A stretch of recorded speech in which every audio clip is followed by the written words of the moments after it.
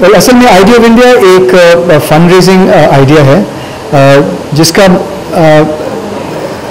The main creative idea जो है वो ये है कि हमारे देश में इतने महान शख्स हैं uh, बहुत से फील्ड्स में चाहे साइंस में हो चाहे टेक्नोलॉजी में हो चाहे आर्ट्स uh, में हो चाहे मूवीज़ में हो चाहे म्यूज़िक में हो राइटर्स हो म्यूजिशंस हो तो हमने सोचा कि इनमें क्या एक कॉमन चीज़ है जिससे हम कह सकते हैं कि इनके माध्यम से, इनके कॉमन चीज़ से you get a sense of what India is about they are all geniuses they are all non discriminatory ये नहीं देखते हैं कि तुम्हारा मज़हब क्या है, सिर्फ़ ये देखते हैं कि तुम्हारी काबिलियत क्या है टू वर्क विद यू चाहे वो म्यूज़िक एल्बम कर रहे हो चाहे वो ऑर्केस्ट्रा के साथ काम कर रहे हो चाहे वो डायरेक्टर फ़िल्म में काम कर रहे हो चाहे वो दूसरे एक्टर्स के साथ काम कर रहे हो चाहे वो एक साइंस प्रोजेक्ट बना रहे हो आ, सब जो करते हैं ये जो महान शख्स हैं they do it without any kind of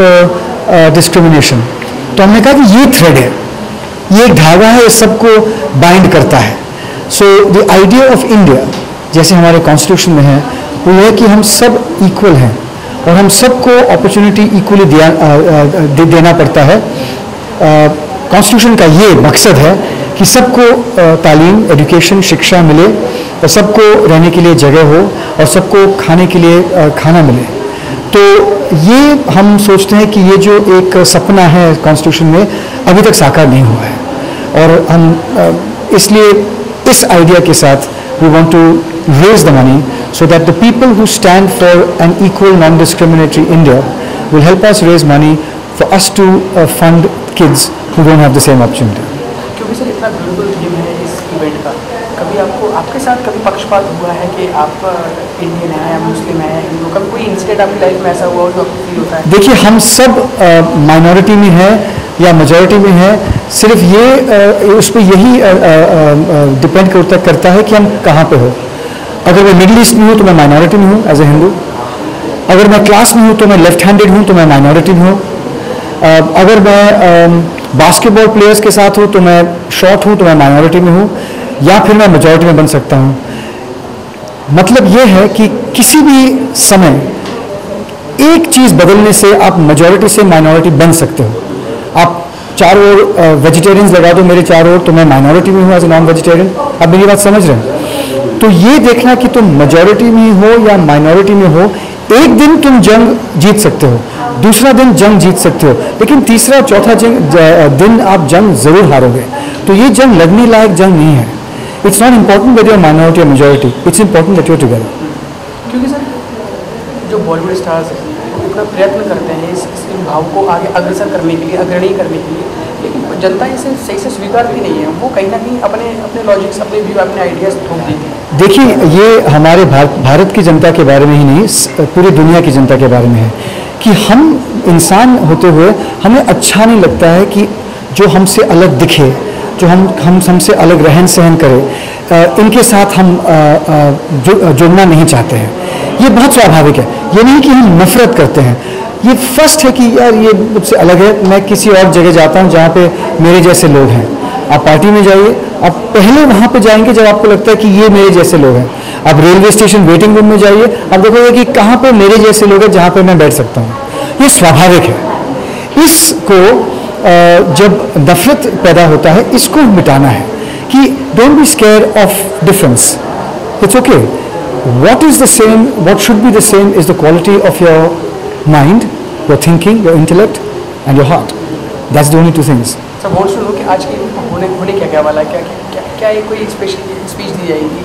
या फिर कुछ ऐसा कुछ आ, आ, लोगों को जागरूक करने के लिए बताया जाएगा? क्या होने वाला है? वेल well, हम आ, इस ऑप्शन के माध्यम से ज़रूर बताने वाले हैं कि the idea of India is for everybody to be equal foundation मतलब फाउंडेशन का लोगो जो है इट्स इक्वल टू साइन तो ये सबको पता है कि ये शाम किसके बारे में है। और ज़रूर हम बात करेंगे। हम बहुत, हरिप्रसाद चौरसिया जी शिव कुमार शर्मा जी, रस्किन बॉन्ड सभी ने साउंड बाइट्स दिए हैं इसके बारे में। So the whole evening is going to be dedicated and celebrating a world without discrimination अब सर ये तो हुई इवेंट की बात और आप जैसे कि आपको देख पा रहे हैं बहुत ही प्यारे और बड़े अच्छे लग रहे हैं कमाल के लग रहे हैं सर आप। अपने इस कॉस्ट्यूम के बारे में बताएँ किसने डिज़ाइन किया ये आपको खुद की पसंद है या फिर सब बड़ी gifted sherwani has been designed by one of my favorite designers, Rajesh Pratap Singh. Uh, उन्होंने डिज़ाइन किया था uh, डेढ़ साल पहले जब मैंने पूछा कि मेरे पास शेरवानी नहीं है? तो मुझे लगता है कि ये शायद सौ साल अगर मैं मोटा ना हो जाऊँ तो सौ साल लास्ट हो जाएगा। It's such a beautiful piece Rajesh के बहुत से कपड़े हैं मेरे पास मैं समझता हूँ कि देश के नहीं दुनिया के पाँच दस टॉप डिज़ाइनर्स में से हैं। और हम दोस्त हैं तो थोड़ा सा प्यार भी शायद गया है शेरवानी में तो I am very happy to wear it अब सर वॉन्ट टू नो कि आप एक आप कुछ भी पहनते हो एक, एक स्टाइल लगता है आप स्टाइल आइकन है। आप इतनी कम फ़िल्में आपने चुनिंदा फ़िल्में की हैं बहुत सदी हुई फ़िल्में की मैसेज से भरी हुई फ़िल्में की हैं तो आपके व्यूवर्स की शिकायत सिर्फ़ यही है। क्योंकि मैं भी एक व्यूवर हूँ सर मैं भी एक आपका फैमिली तो मैं ये जानना चाहूँगा इतनी कम फ़िल्में की हैं। क्यों ज़्यादा से ज़्यादा फ़िल्में करते हैं और क्योंकि we all love you sir ज़्यादा फ़िल्में करने का की बात नहीं है। बात है कि किस किस क्वालिटी की फिल्म्स करते हो। मैं ये नहीं चाहता कि लोग कहें मुझसे कि, कि मैंने कभी लोकप्रिय होने का एक प्रयत्न नहीं किया। मैंने सिर्फ़ प्रयत्न किया कि जब लोग मेरी फ़िल्म देखें तो उनको लगे कि हाँ हमारा पैसा जो है हमने वेस्ट नहीं किया। or uh, he respected our intelligence. So, okay, thank you. Thank you, thank you, thank you, thank you. Thank you so much.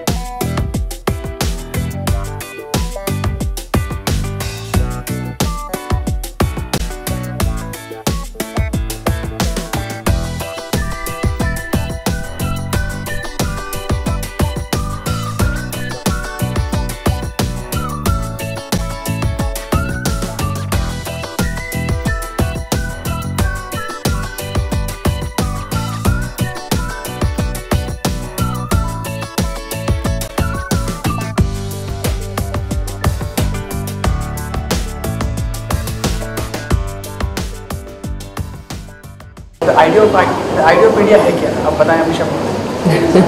ये तो आपको राहुल बोस से पूछना चाहिए, जिनका आइडिया है।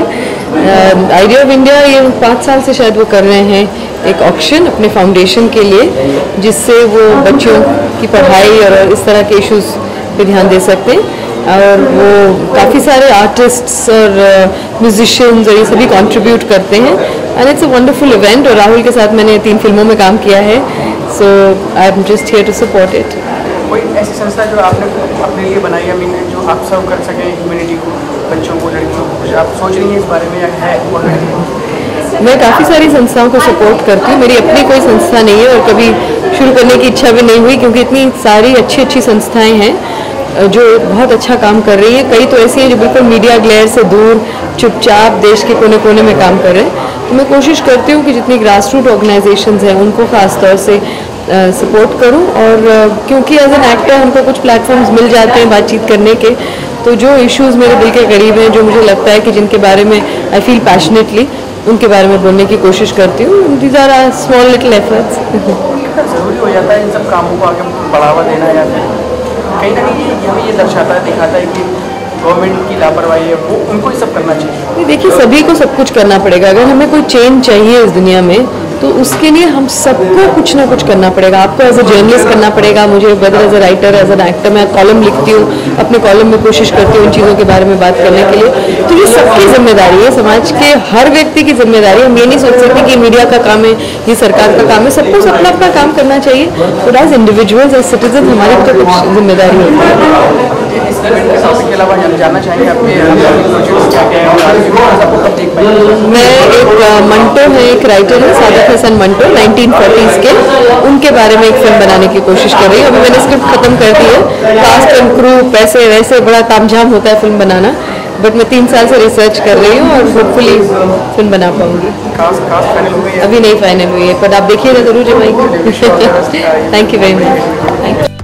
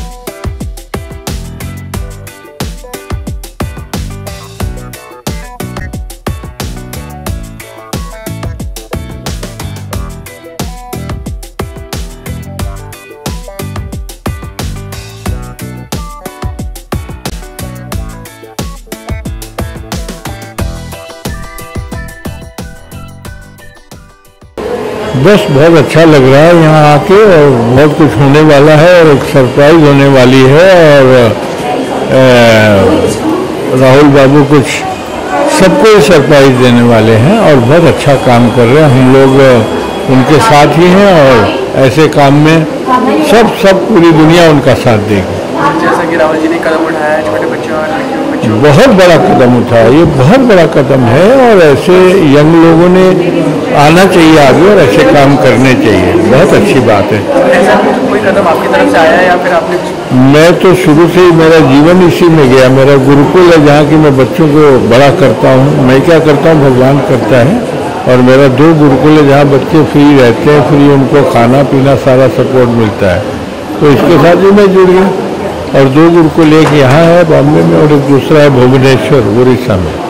तो दोनों हमारे बच्चे पूरे दुनिया के रहते हैं यहीं के नहीं बाहर के विदेश के भी रहते हैं।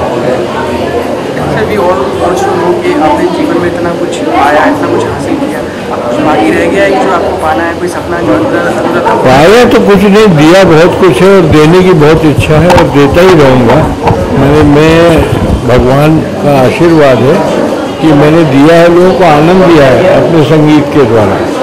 और संगीत के द्वारा आनंद देता रहूँगा और जितने बच्चे हैं जिनको भी शौक है, उनको फ्री सिखाऊँगा और फ्री उनको रखूँगा और अपना परिवार की तरह हम साथ रहेंगे। जो मैं खाऊँगा, वो खाएँगे। जहाँ मैं रहूँगा, वहाँ वो रहेंगे। इसी का नाम गुरुकुल है। म्यूज़िक के अलावा आपके जहन में कोई कहानी चल रही है जिसमें आप कोई फ़िल्म बनाना चाहें अपने बच्चों को कहें काश मैं फ़िल्म बनाता था, मैंने बहुत फ़िल्म में पापू मेरा आधा जीवन फ़िल्म में ही गया और बहुत सारी पिक्चरें म्यूज़िक भी दिया। यही की नहीं, तेलुगु, मलयालम, उड़िया, बहुत सारी बंगाली और हिंदी की तो आपको मालूम है, सिलसिला, फासले लम्बे चांदनी, विजय, डर, साहिबा, परंपरा। तो करूँगा कोई म्यूजिकल ऐसा सब्जेक्ट आएगा तो ज़रूर करूँगा। Thank you